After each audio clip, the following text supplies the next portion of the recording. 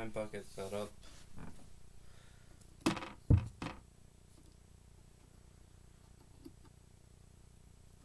Hopefully it stays up.